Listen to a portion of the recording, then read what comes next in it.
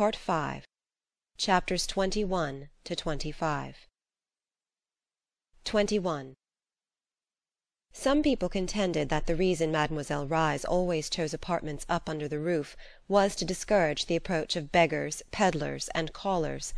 There were plenty of windows in her little front room. They were for the most part dingy, but as they were nearly always open it did not make so much difference. They often admitted into the room a good deal of smoke and soot, but at the same time all the light and air that there was came through them. From her windows could be seen the crescent of the river, the masts of ships, and the big chimneys of the Mississippi steamers. A magnificent piano crowded the apartment. In the next room she slept, and in the third and last she harboured a little gasoline stove, on which she cooked her meals when disinclined to descend to the neighbouring restaurant. It was there also that she ate, keeping her belongings in a rare old buffet, dingy and battered from a hundred years of use. When Edna knocked at Mademoiselle Reisz's front room door, and entered, she discovered that person standing beside the window, engaged in mending or patching an old prunella gaiter. The little musician laughed all over when she saw Edna. Her laugh consisted of a contortion of the face and all the muscles of the body.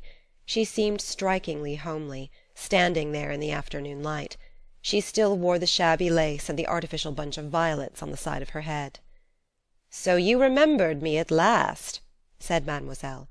"I had said to myself: 'Ah, bah! She will never come.'" "Did you want me to come?" asked Edna with a smile. "I had not thought much about it," answered Mademoiselle. The two had seated themselves on a little bumpy sofa which stood against the wall. "I am glad, however, that you came. I have the water boiling back there and was just about to make some coffee. You will drink a cup with me. And how is la belle dame? Always handsome, always healthy, always contented?" She took Edna's hand in her strong wiry fingers, holding it loosely, without warmth, and executing a sort of double theme upon the back and palm. "Yes," she went on, "I sometimes thought: she will never come. She promised, as those women in society always do, without meaning it. She will not come. For I really don't believe you like me, Mrs. Pontellier." "I don't know whether I like you or not," replied Edna, gazing down at the little woman with a quizzical look. The candour of Mrs. Pontellier's admission greatly pleased Mademoiselle Reisz. She expressed her gratification by repairing forthwith to the region of the gasoline stove and rewarding her guest with the promised cup of coffee. The coffee and the biscuit accompanying it proved very acceptable to Edna who had declined refreshment at Madame Lebrun's and was now beginning to feel hungry. Mademoiselle set the tray which she brought in upon a small table near at hand, and seated herself once again on the lumpy sofa.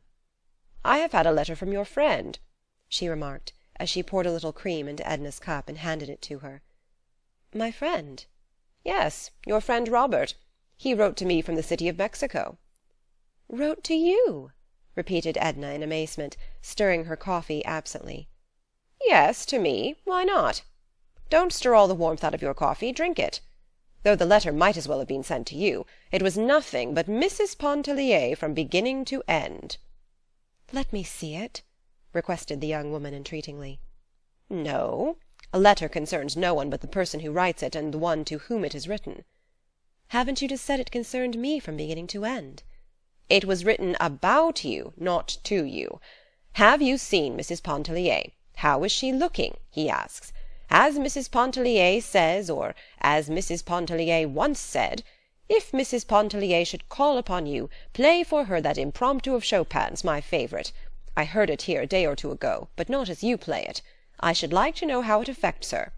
And so on, as if he supposed we were constantly in each other's society. Let me see the letter. Oh, no. Have you answered it? No. Let me see the letter. No, and again no. Then play the Impromptu for me. It is growing late. What time do you have to be home?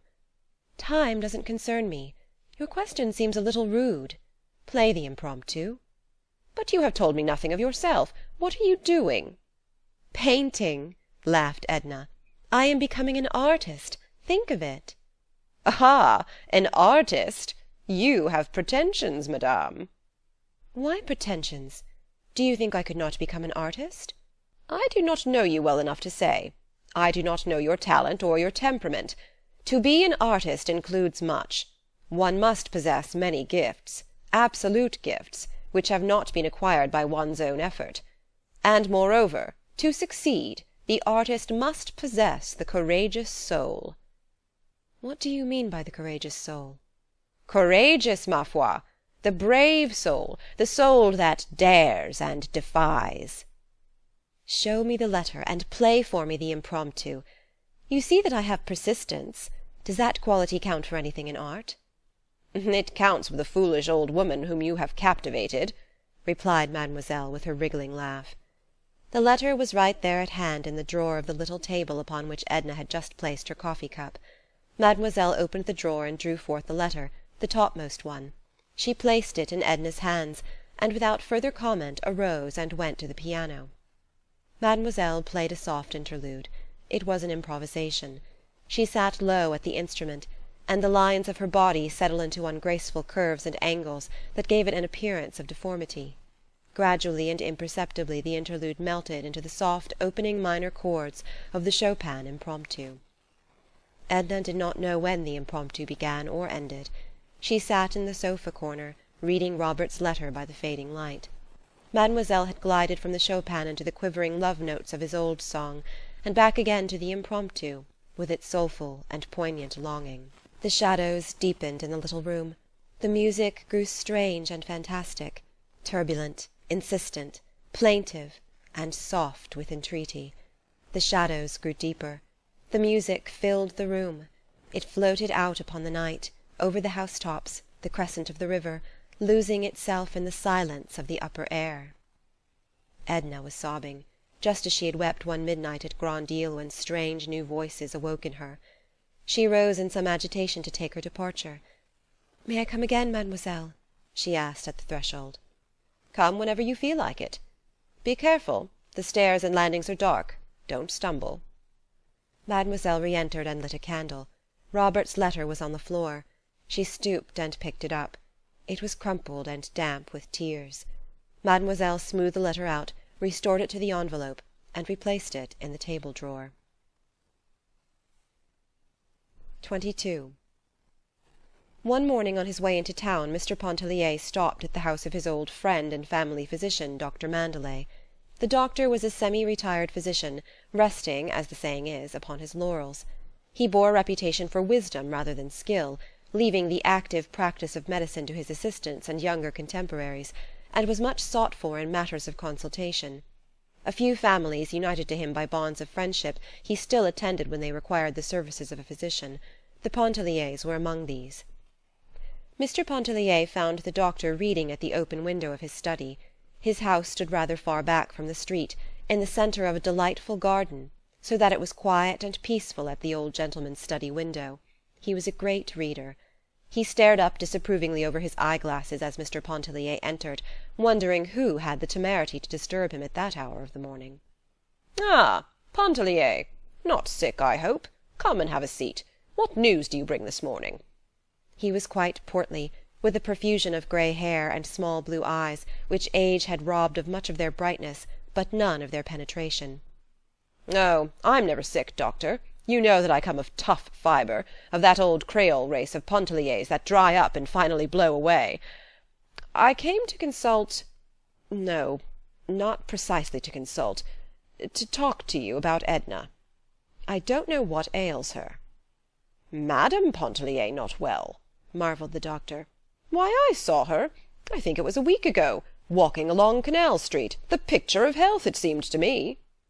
"Yes, yes, she seems quite well," said Mr. Pontellier, leaning forward and whirling his stick between his two hands. "But she doesn't act well. She's odd. She's not like herself. I can't make her out, and I thought perhaps you'd help me." "How does she act?" inquired the doctor. "Well, it isn't easy to explain said Mr. Pontellier, throwing himself back in his chair. "She lets the housekeeping go to the dickens. Well, well, women are not all alike, my dear Pontellier. We've got to consider I know that. I told you I couldn't explain. Her whole attitude toward me and everybody and everything has changed. You know I have a quick temper, but I don't want to quarrel or be rude to a woman, especially my wife. Yet I'm driven to it, and feel like ten thousand devils after I've made a fool of myself. She's making it devilishly uncomfortable for me," he went on nervously. "She's got some sort of notion in her head concerning the eternal rights of women, and you understand we meet in the morning at the breakfast table." The old gentleman lifted his shaggy eyebrows, protruded his thick nether lip, and tapped the arms of his chair with his cushioned finger tips. "What have you been doing to her, Pontellier?" "Doing? Parbleu!" "Has she," asked the doctor with a smile, "has she been associating of late with a circle of pseudo intellectual women super spiritual superior beings? My wife has been telling me about them." "That's the trouble," broke in Mr. Pontellier. "She hasn't been associating with any one. She has abandoned her Tuesdays at home, has thrown over all her acquaintances, and goes tramping about by herself, moping in the street cars, getting in after dark. I tell you she's peculiar. I don't like it. I feel a little worried over it." This was a new aspect for the doctor. "Nothing hereditary?" he asked seriously. "Nothing peculiar about her family antecedents, is there?"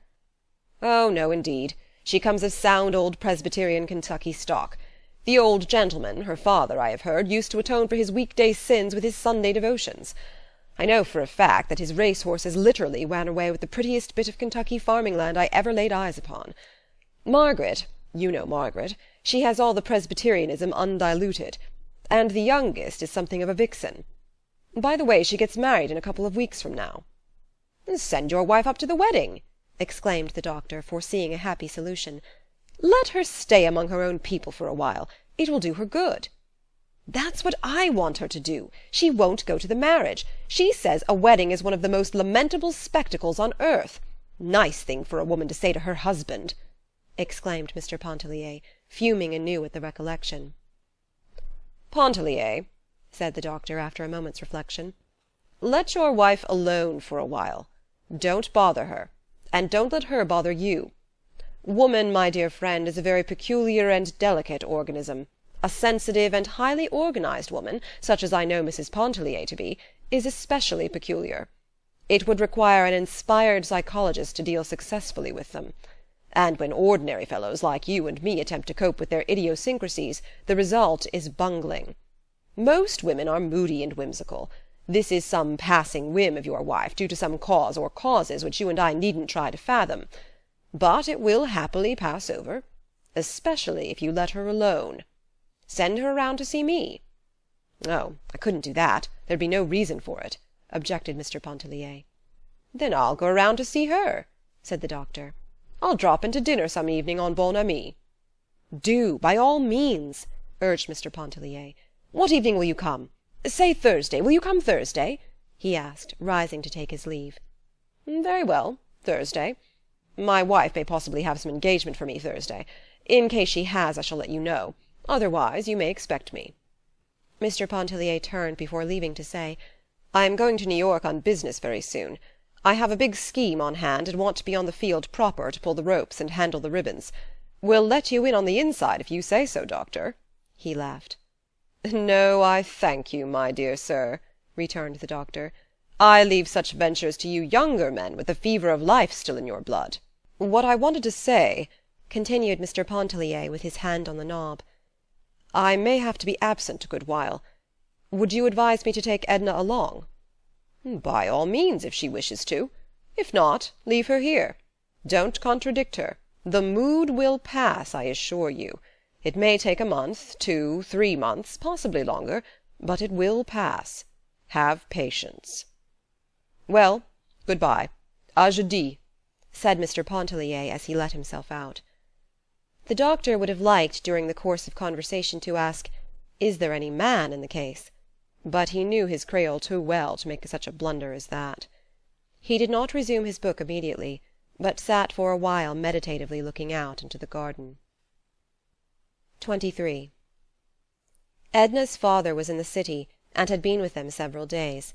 She was not very warmly or deeply attached to him, but they had certain tastes in common, and when together they were companionable. His coming was in the nature of a welcome disturbance it seemed to furnish a new direction for her emotions.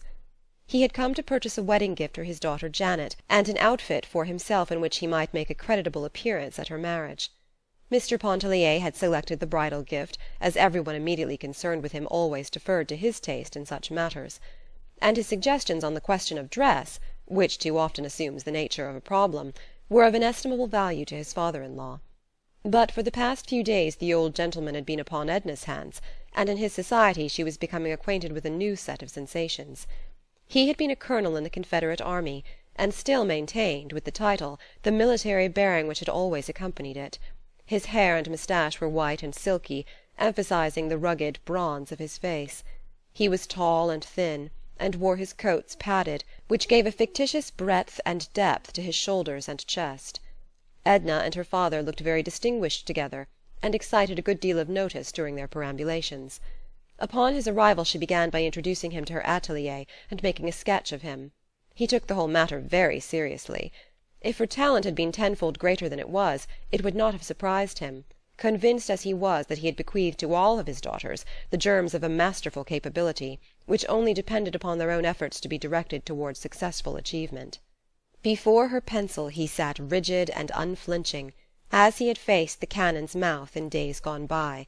He resented the intrusion of the children, who gaped with wondering eyes at him, sitting so stiff up there in their mother's bright atelier. When they drew near he motioned them away with an expressive action of the foot, loath to disturb the fixed lines of his countenance, his arms, or his rigid shoulders.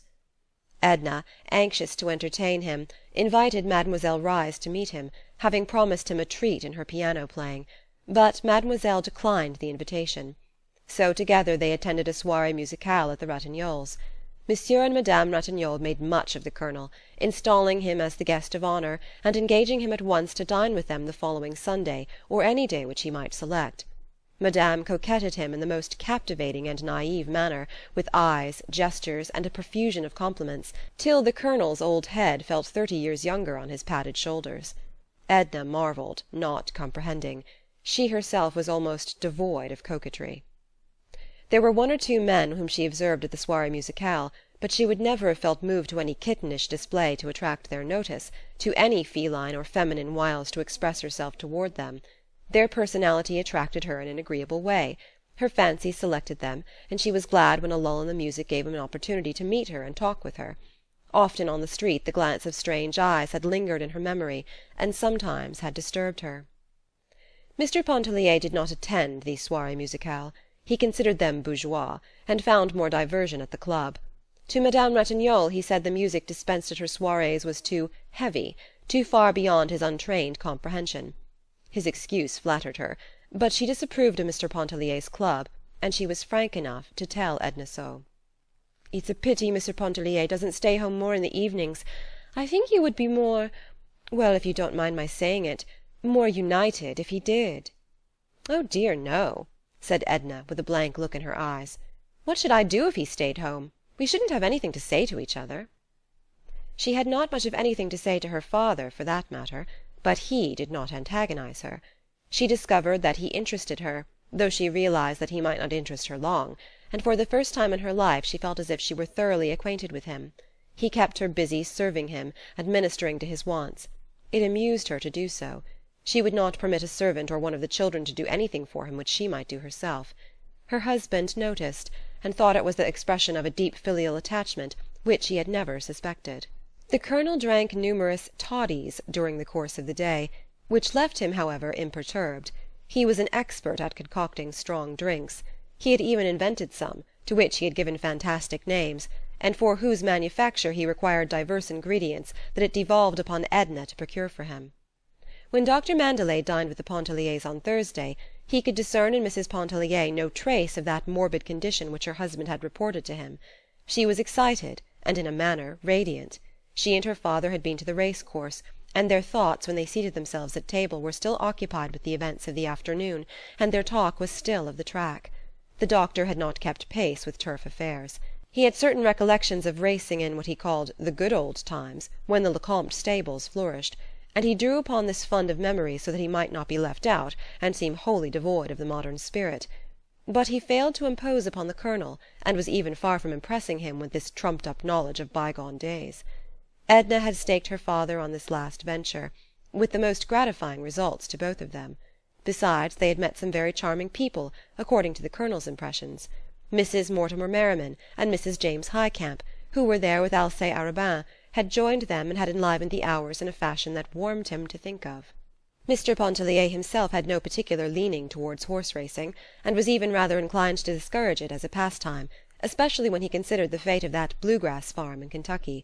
He endeavoured in a general way to express a particular disapproval, and only succeeded in arousing the ire and opposition of his father in law. A pretty dispute followed, in which Edna warmly espoused her father's cause, and the doctor remained neutral.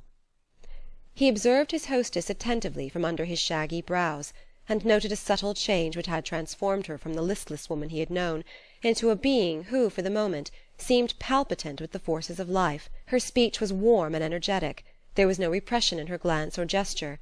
She reminded him of some beautiful sleek animal waking up in the sun. The dinner was excellent. The claret was warm and the champagne was cold, and under their beneficent influence the threatened unpleasantness melted and vanished with the fumes of the wine. Mr. Pontellier warmed up and grew reminiscent.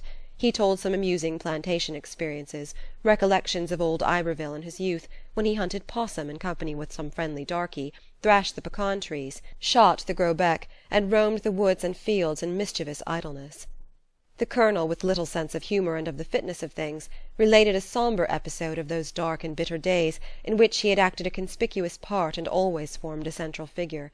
Nor was the doctor happier in his selection when he told the old, ever new, and curious story of the waning of a woman's love, seeking strange new channels, only to return to its legitimate source after days of fierce unrest. It was one of the many little human documents which had been unfolded to him during his long career as a physician. The story did not seem especially to impress Edna. She had one of her own to tell, of a woman who paddled away with her lover one night in a pirogue, and never came back. They were lost amid the Baratarian Islands, and no one ever heard of them or found trace of them from that day to this. It was a pure invention. She said that Madame Antoine had related it to her. That also was an invention.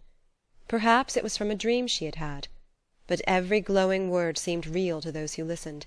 They could feel the hot breath of the southern night; they could hear the long sweep of the pirogue through the glistening moonlit water, the beating of birds' wings, rising startled from among the reeds in the salt water pools; they could see the faces of the lovers, pale, close together, wrapped in oblivious forgetfulness, drifting into the unknown.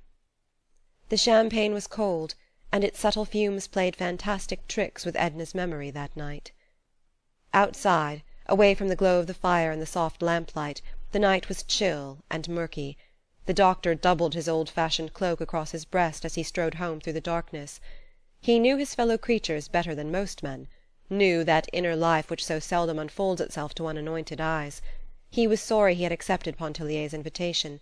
He was growing old, and beginning to need rest and an imperturbed spirit. He did not want the secrets of other lives thrust upon him. "I hope it isn't Arobin," he muttered to himself as he walked. "I hope to heaven it isn't Alcée Arobin." XXIV Edna and her father had a warm and almost violent dispute upon the subject of her refusal to attend her sister's wedding. Mr. Pontellier declined to interfere, to interpose either his influence or his authority. He was following Doctor Mandelet's advice, and letting her do as she liked. The colonel reproached his daughter for her lack of filial kindness and respect, her want of sisterly affection and womanly consideration. His arguments were laboured and unconvincing. He doubted if Janet would accept any excuse forgetting that Edna had offered none. He doubted if Janet would ever speak to her again, and he was sure Margaret would not. Edna was glad to be rid of her father when he finally took himself off, with his wedding garments and his bridal gifts, with his padded shoulders, his Bible reading, his toddies and ponderous oaths. Mr. Pontellier followed him closely. He meant to stop at the wedding on his way to New York, and endeavour by every means which money and love could devise to atone somewhat for Edna's incomprehensible action. "You are too lenient too lenient by far, Léonce," asserted the colonel. "Authority Coercion are what is needed. Put your foot down good and hard the only way to manage a wife. Take my word for it." The colonel was perhaps unaware that he had coerced his own wife into her grave. Mr. Pontellier had a vague suspicion of it which he thought it needless to mention at that late day. Edna was not so consciously gratified at her husband's leaving home as she had been over the departure of her father. As the day approached when he was to leave her for a comparatively long stay, she grew melting and affectionate, remembering his many acts of consideration and his repeated expressions of an ardent attachment. She was solicitous about his health and his welfare. She bustled around, looking after his clothing, thinking about heavy underwear, quite as Madame Ratignolle would have done under similar circumstances. She cried when he went away, calling him her dear good friend, and she was quite certain she would grow lonely before very long, and go to join him in New York. But, after all, a radiant peace settled upon her when she at last found herself alone. Even the children were gone. Old Madame Pontellier had come herself and carried them off to Iberville with their quadroon. The old Madame did not venture to say she was afraid they would be neglected during Léonce's absence. She hardly ventured to think so. She was hungry for them, even a little fierce in her attachment. She did not want them to be wholly "children of the pavement," she always said when begging to have them for a space. She wished them to know the country, with its streams, its fields, its freedom, so delicious to the young. She wished them to taste something of the life their father had lived and known and loved when he too was a little child. When Edna was at last alone she breathed a big genuine sigh of relief. A feeling that was unfamiliar but very delicious came over her. She walked all through the house, from one room to another, as if inspecting it for the first time. She tried the various chairs and lounges, as if she had never sat and reclined upon them before. And she perambulated around the side of the house, investigating, looking to see if windows and shutters were secure and in order. The flowers were like new acquaintances; she approached them in a familiar spirit, and made herself at home among them. The garden walks were damp, and Edna called to the maid to bring out her rubber sandals. And there she stayed, and stooped, digging around the plants, trimming, picking dead, dry leaves. The children's little dog came out, interfering, getting in her way. She scolded him, laughed at him, played with him. The garden smelled so good and looked so pretty in the afternoon sunlight. Edna plucked all the bright flowers she could find, and went into the house with them, she and the little dog. Even the kitchen assumed a sudden interesting character which she had never before perceived. She went in to give directions to the cook, to say that the butcher would have to bring less meat, that they would require only half their usual quantity of bread, of milk and groceries. She told the cook that she herself would be greatly occupied during Mr. Pontellier's absence, and begged her to take all thought and responsibility of the larder upon her own shoulders. That night Edna dined alone. The candelabra, with a few candles in the centre of the table, gave all the light she needed. Outside the circle of light in which she sat, the large dining room looked solemn and shadowy. The cook, placed upon her mettle, served a delicious repast, a luscious tenderloin broiled à point. The wine tasted good, the marrons glacés seemed to be just what she wanted. It was so pleasant, too, to dine in a comfortable peignoir. She thought a little sentimentally about Léonce and the children, and wondered what they were doing. As she gave a dainty scrap or two to the doggie she talked intimately to him about Etienne and Raoul. He was beside himself with astonishment and delight over these companionable advances, and showed his appreciation by his little quick snappy barks and a lively agitation. Then Edna sat in the library after dinner and read Emerson until she grew sleepy. She realized that she had neglected her reading, and determined to start anew upon a course of improving studies, now that her time was completely her own to do with as she liked. After a refreshing bath Edna went to bed. As she snuggled comfortably beneath the eiderdown a sense of restfulness invaded her, such as she had not known before. XXV When the weather was dark and cloudy Edna could not work. She needed the sun to mellow and temper her mood to the sticking point. She had reached a stage when she seemed to be no longer feeling her way, working, when in the humour, with sureness and ease and being devoid of ambition, and striving not toward accomplishment, she drew satisfaction from the work in itself.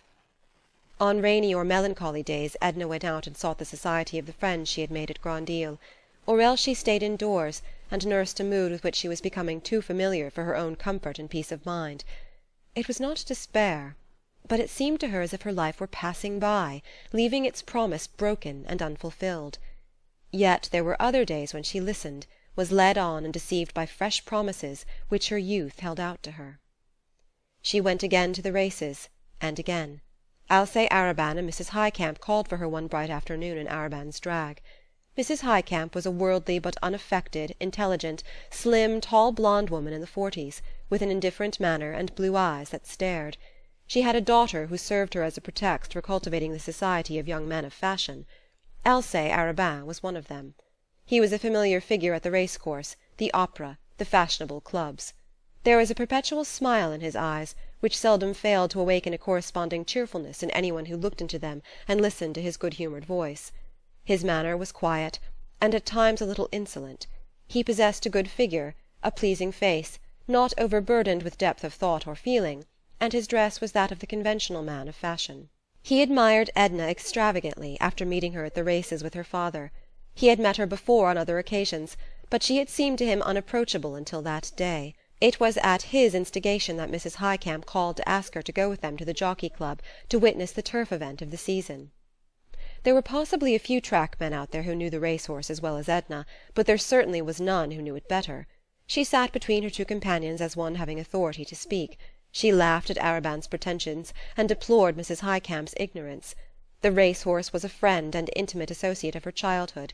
The atmosphere of the stables and the breath of the blue grass paddock revived in her memory and lingered in her nostrils. She did not perceive that she was talking like her father as the sleek geldings ambled in review before them. She played for very high stakes, and fortune favoured her. The fever of the game flamed in her cheeks and eyes, and it got into her blood and into her brain like an intoxicant. People turned their heads to look at her and more than one lent an attentive ear to her utterances, hoping thereby to secure the elusive but ever desired "tip." Arobin caught the contagion of excitement which drew him to Edna like a magnet. Mrs. Highcamp remained, as usual, unmoved, with her indifferent stare and uplifted eyebrows. Edna stayed and dined with Mrs. Highcamp upon being urged to do so. Arobin also remained, and sent away his drag. The dinner was quiet and uninteresting, save for the cheerful efforts of Arobin to enliven things. Mrs. Highcamp deplored the absence of her daughter from the races, and tried to convey to her what she had missed by going to the Dante reading instead of joining them. The girl held a geranium leaf up to her nose and said nothing, but looked knowing and non committal. Mr. Highcamp was a plain bald headed man, who only talked under compulsion. He was unresponsive. Mrs. Highcamp was full of delicate courtesy and consideration toward her husband; she addressed most of her conversation to him at table. They sat in the library after dinner and read the evening papers together under the drop light, while the younger people went into the drawing room near by and talked. Miss Highcamp played some selections from Grieg upon the piano; she seemed to have apprehended all of the composer's coldness and none of his poetry. While Edna listened she could not help wondering if she had lost her taste for music.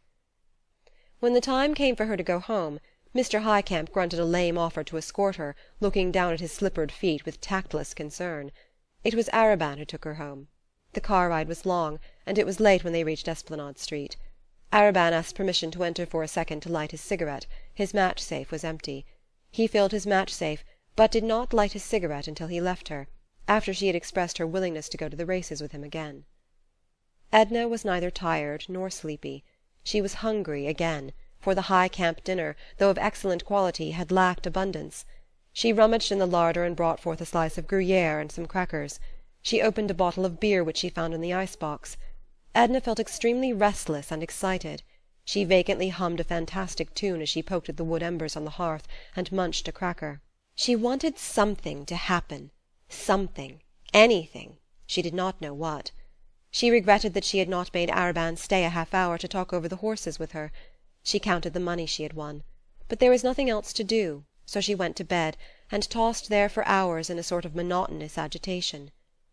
In the middle of the night she remembered that she had forgotten to write her regular letter to her husband, and she decided to do so next day and tell him about her afternoon at the Jockey Club. She lay wide awake composing a letter which was nothing like the one which she wrote next day. When the maid awoke her in the morning Edna was dreaming of Mr. Highcamp playing the piano at the entrance of a music store on Canal Street, while his wife was saying to Alcée Arobin, as they boarded an Esplanade Street car: "What a pity that so much talent has been neglected! But I must go." When, a few days later, Alcée Arobin called again for Edna in his drag, Mrs. Highcamp was not with him. He said they would pick her up, but as that lady had not been apprised of his intention of picking her up she was not at home. The daughter was just leaving the house to attend the meeting of a branch folk lore society, and regretted that she could not accompany them. Arobin appeared nonplussed, and asked Edna if there were any one else she cared to ask. She did not deem it worth while to go in search of any of the fashionable acquaintances from whom she had withdrawn herself. She thought of Madame Ratignolle, but knew that her fair friend did not leave the house except to take a languid walk around the block with her husband after nightfall. Mademoiselle Reisz would have laughed at such a request from Edna. Madame Lebrun might have enjoyed the outing, but for some reason Edna did not want her. So they went alone, she and Arobin. The afternoon was intensely interesting to her. The excitement came back upon her like a remittent fever. Her talk grew familiar and confidential. It was no labour to become intimate with Arobin: his manner invited easy confidence. The preliminary stage of becoming acquainted was one which he always endeavoured to ignore when a pretty and engaging woman was concerned. He stayed and dined with Edna; he stayed and sat beside the wood fire; they laughed and talked, and before it was time to go he was telling her how different life might have been if he had known her years before. With an ingenuous frankness he spoke of what a wicked ill disciplined boy he had been, and impulsively drew up his cuff to exhibit upon his wrist the scar from a sabre cut which he had received in a duel outside of Paris when he was nineteen. She touched his hand as she scanned the red cicatrice on the inside of his white wrist. A quick impulse that was somewhat spasmodic impelled her fingers to close in a sort of clutch upon his hand. He felt the pressure of her pointed nails in the flesh of his palm. She arose hastily and walked toward the mantel. "The sight of a wound or scar always agitates and sickens me," she said. "I shouldn't have looked at it." "I beg your pardon," he entreated, following her. "It never occurred to me that it might be repulsive." He stood close to her, and the effrontery in his eyes repelled the old vanishing self in her, yet drew all her awakening sensuousness. He saw enough in her face to impel him to take her hand and hold it while he said his lingering good night. "Will you go to the races again?" he asked. "No," she said. "I've had enough of the races. I don't want to lose all the money I've won, and I've got to work when the weather is bright instead of "Yes work to be sure. You promised to show me your work. What morning may I come up to your atelier? To morrow?" "No." "Day after?" "No, no." "Oh, please don't refuse me. I know something of such things. I might help you with a stray suggestion or two." "No. Good night. Why don't you go after you have said good night? I don't like you," she went on in a high excited pitch, attempting to draw away her hand. She felt that her words lacked dignity and sincerity, and she knew that he felt it. "I'm sorry you don't like me. I'm sorry I offended you. How have I offended you? What have I done? Can't you forgive me?" and he bent and pressed his lips upon her hand as if he wished never more to withdraw them. "Mr. Arobin," she complained, "I'm greatly upset by the excitement of the afternoon. I'm not myself. My manner must have misled you in some way. I wish you to go, please." She spoke in a monotonous dull tone. He took his hat from the table and stood with eyes turned from her, looking into the dying fire. For a moment or two he kept an impressive silence. "Your manner has not misled me, Mrs. Pontellier," he said finally. My own emotions have done that. I couldn't help it. When I'm near you how could I help it? Don't think anything of it don't bother, please. You see I go when you command me.